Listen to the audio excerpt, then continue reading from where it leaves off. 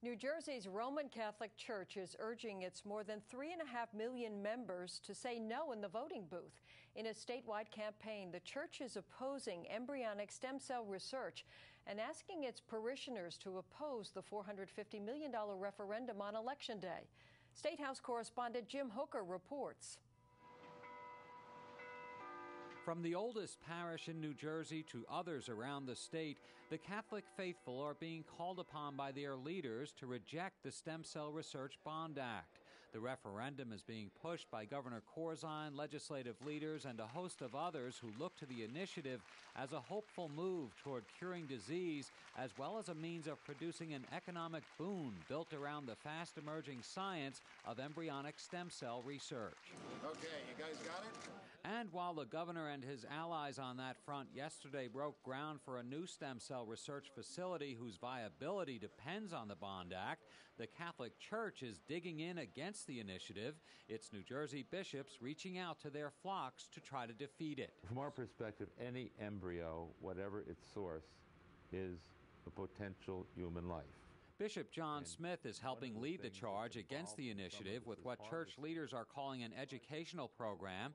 The church, for example, is distributing pastoral letters and this pamphlet in a letter to his 850,000 parishioners. The Trenton bishop says, quote, "The Catholic Church can never support embryonic stem cell research since it requires the destruction of innocent human life. I ask everyone to pray that the people of New Jersey will vote against the funding." But we've just been trying to enlighten them as to what some of the issues are, with the hope that people would be enlightened by the program and vote against it. The campaign is among the church's most ambitious in decades here, according to Smith, second perhaps in intensity only to its ongoing anti abortion campaign. But sometimes, in our zeal to heal the sick or relieve suffering, we lose our way. The ammunition employed by the church includes this DVD, produced by the church's Knights of Columbus and shown at parishes around the state. It's also available on a specially created website opposing the stem cell initiative. Ads opposing the ballot question are also set to run on NJ Transit buses, and a radio ad blitz is planned in central New Jersey. But it's just a different world communication wise, and hopefully we are able to reach people uh, much more easily. It's not just the people who are there on Sunday morning. My concern is that there's going to be a small turnout statewide, uh, between 25 and 28 percent, and this is an enormous issue. Assemblyman Neil Cohen was part of the driving force in the legislature behind pursuing embryonic stem cell research. Despite his concerns, he says he feels he's on solid moral and political ground. Those parishioners, they have families who are ill. They have families with Alzheimer's and diabetes, and uh, those whose children have suffered crippling diseases, spinal cord injuries.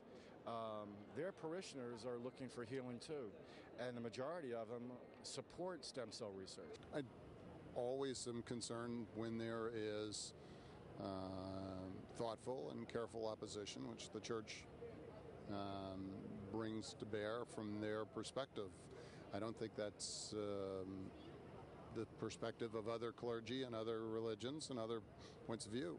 For his part, the bishop says election night should be an interesting one for watching returns, though he says he's not one for making predictions as to just how effective the church's push might be or whether it will lead to a defeat of the stem cell initiative at the ballot box.